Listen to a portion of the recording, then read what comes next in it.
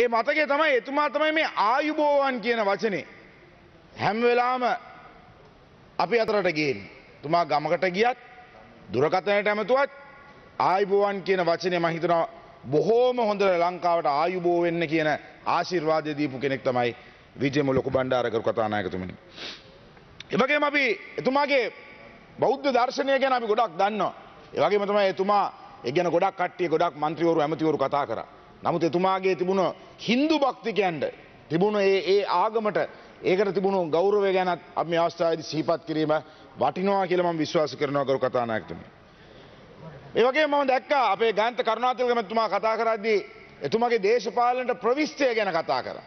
තාමත් එතුමගේ හපුතලේ ගමට ගියාම හපුතලේ හපුතලේ ගම තමයි එතුමාගේ දෙමව්පියන්ගේ නිවස තිබුණි. තාමත්ම බොහොම චාම් නිවසක් ඒ නිවස කවදාවත් මහාලොකු මන්දිරයක් වුණේ නෑ. ඒ හපුතලේ ගම ගෙදර තවමත් තියෙන්නේ ඒ විදිහම තමයි. තුවා බොහොම නිහතමානී ජීවිතයක් ගෙව්වයි කියන එක අපි සියලු දෙනාම දන්නා කරුණා.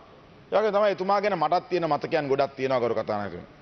මගේ විවාහයට සාක්කයට අත්සන් කරෙත් වීජම ලොකු බණ්ඩාර. ඒ වගේම ගාමින් ලොක්ගේ වීජ ඇමතුමයි වීජම ලොකු බණ්ඩාරයි තමයි අත්සන් කරේ. වීජම ලොකු බණ්ඩාර මැතිතුමා මට මතක උඩවලේ පැත්තේ අපි ගිහිල්ලා පළවෙනි පක්ෂ එක්සත් ජාතික පක්ෂේ සම්මන්ත්‍රණයක් මොකක් හරි තියෙන වෙලාවක එහෙම නැත්නම් සමුළුවක් තියෙන වෙලාවකදී අල්ලපු කාමරේ වීජම ලොකු බණ්ඩාර මහත්තයා නානවා මට හැෙනවා.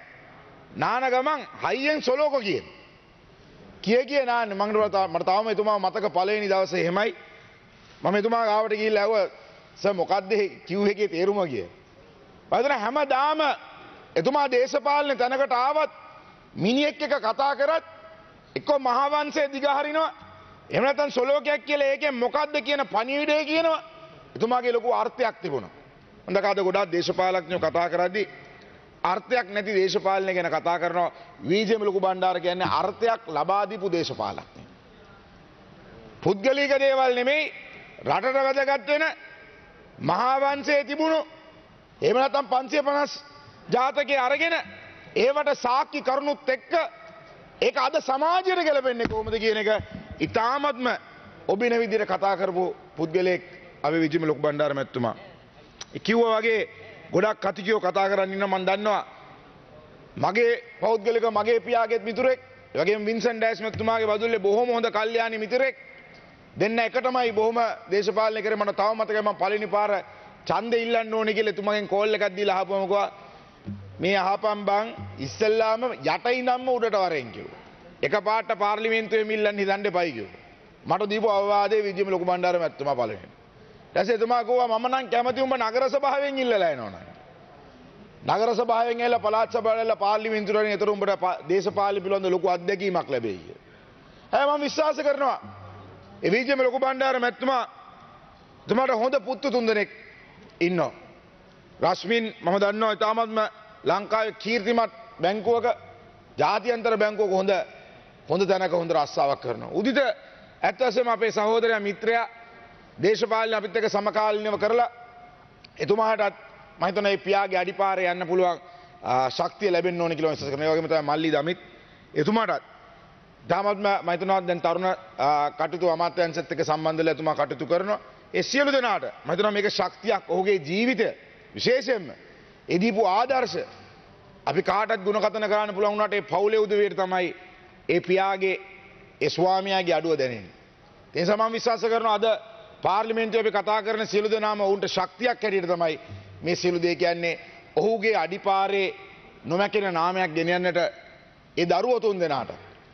ඒ හැකියාව ඒ දරුවන්ගේ දරුවන්ටත් ඒ හැකියාව බීජෙම ලොකු බණ්ඩාර කියන නාමය ඉදිරියට ගෙන යන්නට ඒ දරුවන්ටත් ඒ ශක්තිය ලැබෙන්නට අපිට අපි ඔහුගෙන් ඉගෙන ගත්ත දෙයින් අපිත් ඔබතුමාලට සහයෝගයක් වෙමින් ඔබතුමාලට ශක්තියක් වෙමින් ඔබතුමාලගේ දුක තුනී කර ගැනීමට අපිත් සම්බන්ධ වෙනවා කියන බව මතක් කරමින් විශේෂයෙන්ම එක්සත් ජාතික පක්ෂයේ මන්ත්‍රීවරයෙක් අද මෙතන නියෝජනය නොවන අවස්ථාවක අපි එක්සත් ජාතික පාක්ෂිකයෝ අපි ඔහුව හඳුනන්නේ එක්සත් ජාතික පක්ෂයෙන් මට දිස්ත්‍රික්කයේ ඡන්දය ඉල්ලන්න ඉස්සෙල්ලාම ආශිර්වාද දුන්නේ බීජම ලොකු බණ්ඩාර මැතිතුමාගෙන්. ඒ නිසා මම විශ්වාස කරනවා එදා 77 පාර්ලිමේන්තුවේ තුමන්ලා ආපු රස කතා මම අහලා තියෙනවා බදුල්ල කෝච්චියෙන් පටන් ගත්තම ඔක්කොම කෝච්චියේ නැගලා විහිළු කර කර කොළඹ සාවස්ත්‍රියට එනකන් එන කතන්දර මම අනන්ත අප්‍රමාණ එතුමා කියනේ වහලා තියෙනවා. ඒ නිසා මම විශ්වාස කරනවා ඒ සොඳුරු අතීතයේ ආ, ඒ නිහතමානී මිනිස්යාගේ ජීවිතයෙන් අපි සියලු දෙනා මේ පාර්ලිමේන්තුවේ ආ, යමක් ඉගෙන ගත්තොත් මම හිතනවා අපි දේශපාලන වශයෙන් අපිටත් මේ රටටත් දේශපාලන ගරුත්වය ලබා ගන්න නැවතත් අවස්ථාවක් තියෙයි කියලා. ඒ නිසා ඒක තමයි අවශ්‍ය වෙන්නේ පාර්ලිමේන්තුවට. මම හිතනවා එතුමා කියපු හැම වචනයකම මේ කතානායක පුටුවේ ඉඳලා මට මතකයි මම අහපුවම ඇයි සර් ආයෙත් දේශපාලනය කරන්නේ නැත්තේ කියලා. ඒතර මට කිව්වා පුතේ කතානායක පුටුවේ ඉඳලා මම එක්ක අගමැති නැත්තම් ජනාධිපති වෙන්න ඕනේ කිය. මම ආයෙත් මේ පුටුවෙන් පල්ලයට යන්න හොඳ නැහැ කිය.